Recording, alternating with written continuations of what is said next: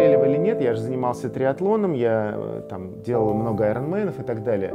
И я еще тогда, кстати, говорил уже, что, ребят, ну, э, слишком много, когда вы делаете вот э, там триатлонов, айронменов, для чего вы делаете вопрос, да, для чего? Вот вы там, я не знаю, вы предприниматель или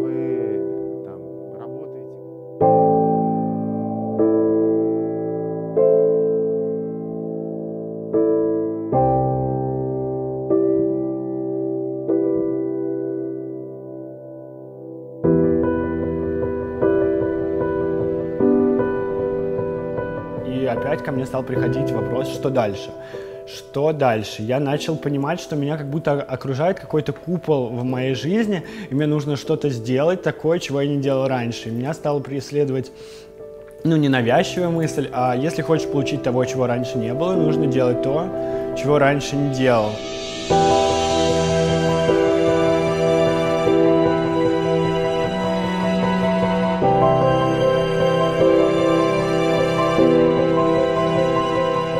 И как-то разговаривал с своим клиентом, состоятельным человеком, да, вот, и он сказал, Павел, ну, говорит, не все хотят быть миллионерами.